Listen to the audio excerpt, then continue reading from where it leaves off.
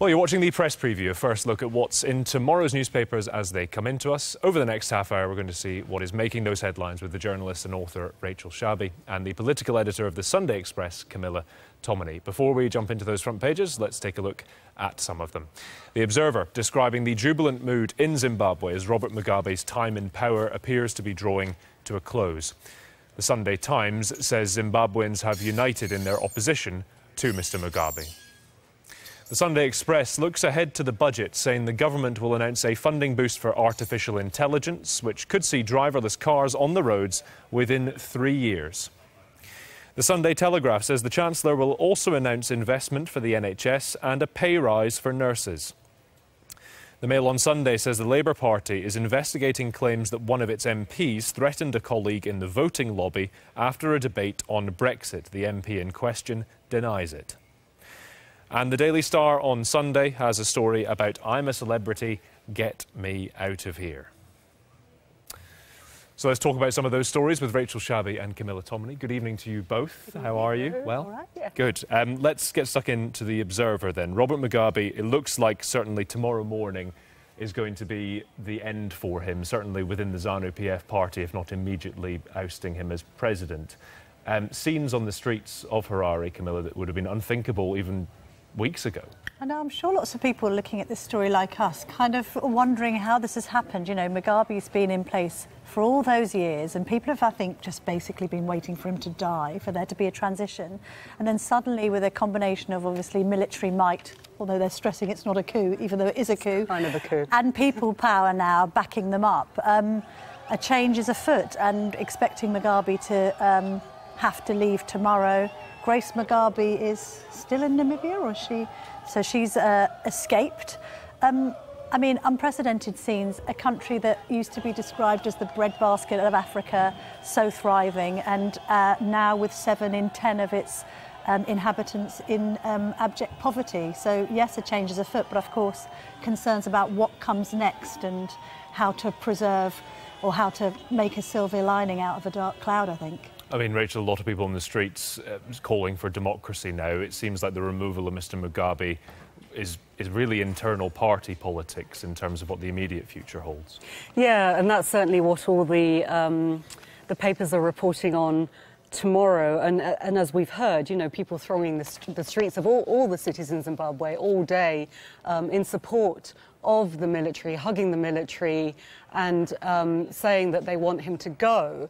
But yes, what happens next will be crucial. He's supposed to be meeting with army officials tomorrow. If he doesn't agree to step down, it's thought that his own party, uh, ZANU PF, will then depose him.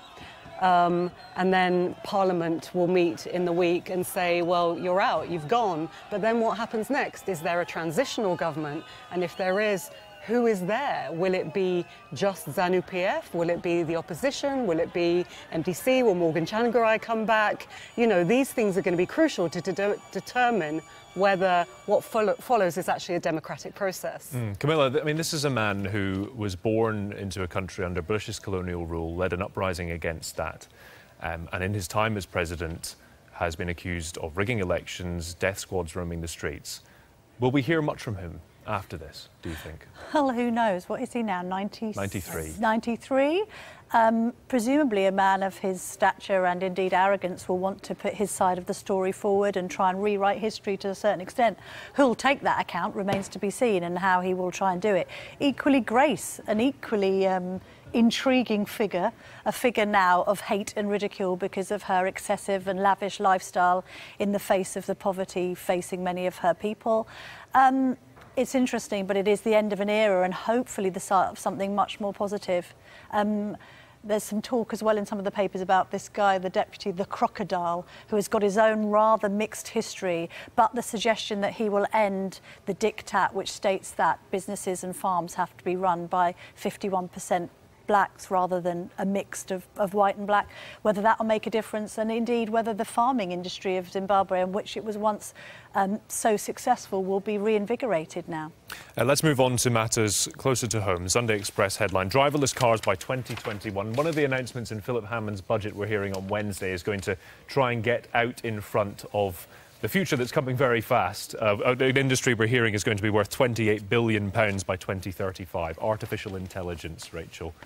Yeah, this is oh, actually this is Camilla's story on the front page of the Express, announcing that um, it's part of this multi-million pound plan that Hammond has to um, bring uh, Britain to the forefront of the technological future. Of course, Britain's main problem at the moment is that productivity has flatlined. It is uh, among the worst in the G7, um, and that's while we are working longer hours uh, for less pay and in worse conditions. So it's, it's, it's something that needs to be unlocked, this flatlining productivity. And of course, this technological change and investment in technology is, is something that's, um, you know, hoped to unlock uh, Britain's potential and, and pro- productivity. So that's the context in which, presumably, yeah. he's putting I mean, this out there. What's quite interesting about this drop, which has gone to all the Sundays in a bid to kind of keep us occupied with Brexit story, uh, with a budget, budget, and Brexit stories that we can control, as opposed to making up stuff that might be in the budget on Wednesday, which is also the want of a Sunday newspaper journalist, um, is that there's the sense that actually Hammond is trying to ensure that those who have to go into post Brexit Britain, enjoy some of the spoils if it's successful and if there's a sense that we can be a leading global player when it comes to technology. Interestingly, as part of these announcements, as well as funding things like AI, driverless cars, uh, better 5G connectivity, there's also funding to train 8,000 more computer science teachers. That's been welcomed by Eric Schmidt of Google, who has said this is the way we need to go forward. Also, more training for older people to reskill because obviously the days of our old manufacturing, you know, Sheffield steel and other things that might have been iconically British have gone. And there's a sense that we need to be more productive in a different area. I mean, so there's, there's almost three quarters of a billion pounds investment here that he's announcing. Should he be stashing away some of that for a Brexit war chest? And this is uh, some of the criticisms that are already coming out from other elements of his cabinet, who we see on the Telegraph front. Um, some people have been saying, well, actually, it's all very well talking about driverless cars, but we want to see Hammond produce a Brexit proof, Brexit friendly budget. We want him to uh, assure that our Brexit future um, is, is, is going to be a healthy and a robust one financially. But of course, that is the problem. Uh, whenever the Conservatives announce um, financial measures like this, they U turn. You know, they've already U turned on several things, for instance, housing. And the other thing is, of course, where they're, where they're going to fund it from. Is it going to be tax? Is it going to be borrowing? We don't know yet. And I mean, they'll announce that on Wednesday. To be fair, I think there are also a lot of housing measures expected. There's been suggestions that he's going to give a stamp duty cut to first-time buyers. Yeah. There's a suggestion that he's going but... to lift the cap on councils building social housing. There's a suggestion that he's going to lift the public sector pay cap when it comes to nurses. There's also been suggestions about soldiers' pay. I'd suggest that actually it's not just public sector pay that needs to be looked at, but also private sector.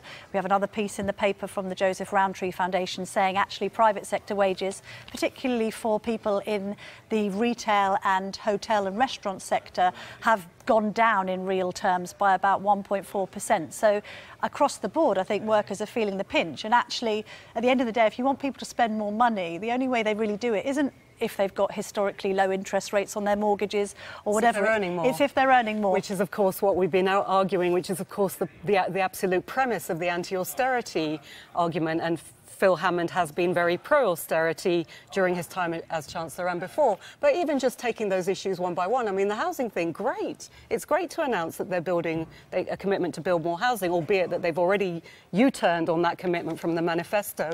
But it depends what kind of housing you're building.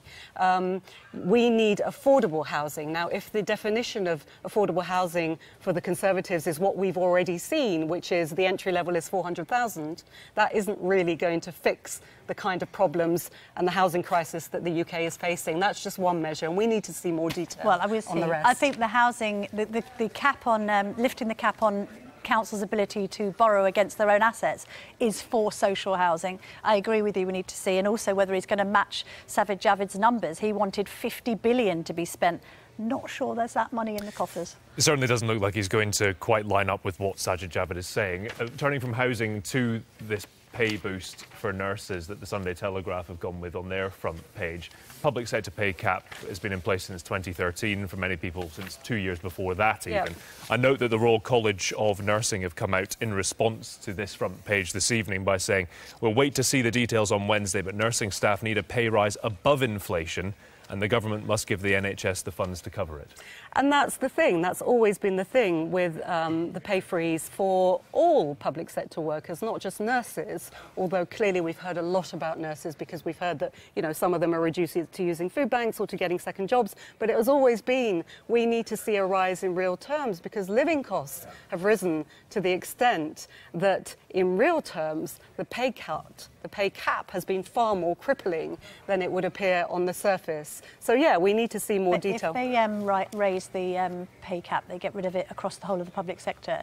Are you happy for middle managers and NHS bosses to also be given a pay rise? I mean, I think this is the thing that the, the Conservative government has tried to do in the talks about um, uh, reversing the pay cap. They've tried to pick off. Uh, I'm different just bits. wondering whether that's they've tried to pick off different sec- different people in the public sector. So they've said, all right, frontline, you know, um, firefighters. Um, we'll talk about you having it, but the backroom staff not so much. So, and that's the thing. It actually has to go across the board for it to be meaningful in terms of not just their individual pay, but the kind of services that they're able also, to the- offer. But the trouble is fiscally, isn't it? It's really difficult to, of course, frontline staff, and indeed the nurse who made the point with Theresa May in the debate before the election, I think, gained a lot of traction because people were looking at it going, yeah, well, why aren't nurses given more money? Mm. And I think there's huge sympathy for that. But There's also the realisation that a public sector pay rise across the board is hugely, hugely expensive. It also estim- means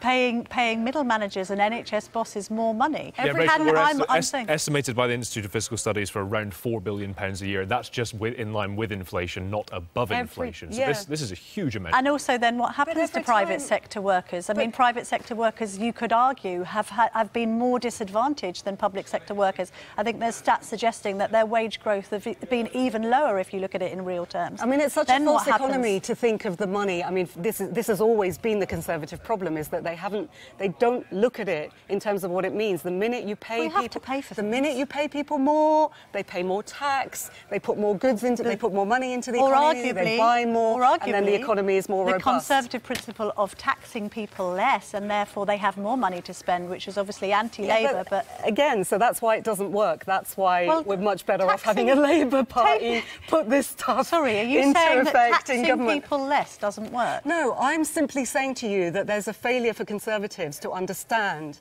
that if you pay public service sector workers more, not only are they better able to do their jobs in the public center, sector for this country, but they will then generate more income for the economy. Okay, we're going to have to leave it money. there for the purposes of time because we want to fit in as much as we can after the break. Still to come, apparently, Eton are banning their pupils from using their phones in bed. More about that next. Welcome back to the press preview here on Sky News with Rachel Shabi and Camilla Tominey. Um, let's talk about this photo on the inside of the Daily Express. We were talking about it just before we started. I just Sunday took it off. Express, Tom. I have to Sunday correct you. Express. Sorry. Apologies.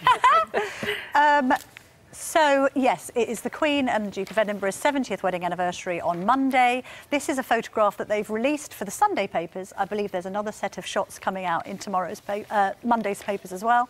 Um, and they are now the longest married couple in British royal history. They're having a dinner to celebrate on Monday night with family. And there's just a nice little line that Prince Michael of Kent is going to give to tomorrow night's Sunday uh, Song of Praise, talking about being a page boy at this wedding in 1947, back when he was just aged five. And it's quite sweet, really. He talks about how the wedding really lifted the mood of the nation in the aftermath of the Second World War. Indeed, the Queen had to save up ration coupons to buy her wedding dress. And it talks about how there was a complete obsession about not treading on her train at the time and having page boys and girls going flying down the um, aisle of Westminster Abbey. So just a nice story and the fact that at 91 and 96 they're still going strong. Indeed. Yeah, and it, is, it's, it must have been quite a responsibility. He's five and he's talking about how heavy this train is and how long, how long they had to walk. He's quite proud. He says, that- I was very well behaved, he remembers, but he says, my memory's a bit sketchy because it was quite close to the coronation and I had a role at that and I mixed the two events up. So he's had a place in history, this Bit of a blur. Um, uh, talking about uh, Facebook in the Mail. Now, this has been around for, for quite some time, but this the Mail saying that Facebook has now admitted that Russian trolls targeted the website in the run-up to the Brexit referendum. Yeah, so this is the first time that Facebook has admitted what we've all wondered for a while, um, which is that it was al- also targeted by Russian trolls in the run up to um, last year's Brexit referendum. We already know, I so think it was the Mail on Sunday, last Sunday, that had the news that, um, you know, there were troll farms in uh, Russia that were sending out um, hundreds of messages. hundreds yeah. of messages on Twitter. And that was, it wasn't just necessarily pro Brexit, it was divisive. It was, a lot of it was anti immigration. And that's, and that's the thing. I mean, it's, it's the idea that it would um, stoke divisions or make those views seem more. Um, more in number than they actually were. So I think this is the thing that is driving um, MPs from both sides, from both Yeah, parties. I was just to, thinking, it's that image, wasn't it, as well, of the Muslim lady on The- her phone. Oh, she's ignoring the terror attack. at Westminster. Yeah, yeah. just nasty, nasty Yeah, stuff. But it's yeah. interesting that Zuckerberg doesn't seem to want to address this issue. The, the chair of the um, committee that has sent him a letter, Damian Collins MP, says he hasn't even acknowledged this letter Yeah. or replied. Yeah. Doesn't really seem to care. Well, I'm not sure if they. I mean, I think they just really don't know how to respond, do they? Um, they've been reluctant uh, for so long to take any kind of responsibility for the content that appears on Facebook. They've always said we're not, you know, we're not. We're a social platform, a social media platform. We're not news. Um, we're not responsible for the content in that way. Do And they so need to I'm make sure themselves more responsible? It though? Throws up they all must kinds of do. ethical And also people like doesn't it? YouTube, and there's some stories today about, you know, really dodgy parenting blogs where fathers have been sort of humiliating young children and it's on this platform and it's attracting advertising and it's just really immoral. Yeah. I mean, and some of these platforms are, having said that, uh, Home Secretary was saying a few weeks ago at conference, you know, I think something like 400 hours of footage are loaded onto YouTube every minute or something. How do you keep track? I mean, I've just no idea. And there was that whole thing with Peppa Pig as well, wasn't there? That it was spliced with violent imagery. Was um, it? And it was showing up, and it was like playing automatically on Tu- YouTube Yeah. because it plays next. Awful, Um, awful. so- Yeah, I mean, it's uh, how do you stop it? We don't have the time to even try and discuss it. Uh, let's finish on something interesting. Eton banning phones in bed to stop pupils losing sleep. Now, we all do it, don't Yeah. we? We turn over first thing in the morning, late at night, have a look at the screen, don't we? And they're trying to, trying to sort it out. I love this because this is one of those situations where parental behaviour doesn't set the best example. Often on my phone, I'm going, Will you get off your phones, children? get off your phone, mummy. Um, and it's a very good point. So the Eton head here, of course, fully boarding, so they've got more control of it, saying after 9.30, no electronic equipment in the boarding rooms at all. This comes after, I think it was an independent girls' school a couple of weeks ago. The head there sent out a similar missive saying, please do not use your mobile phone as an alarm mm. clock. We don't want you just waking up and instantly having the phone in front of you. And I think for young people, that makes a pretty valid point. I think so, yeah. I think it's probably true for everyone, though, isn't it? I mean, I've, I've just got an alarm clock because for, for, for so long I've been doing exactly that, using the phone as an alarm, and that's the first thing you look at. And then, of course, you get sucked into all kinds of resist it, things before you've even had It's a like an coffee. How are you supposed to cope? I know, it's terrible. It is an Well, addiction. Well, Eton will Yeah. have to update us on the results of their research into not using phones after 9:30 p.m. Uh, we'll have to leave it there. Rachel, Camilla, you. uh, you'll be back with us in the next hour, so make sure you stay with us here on Sky News. For now, let's see what the weather's doing.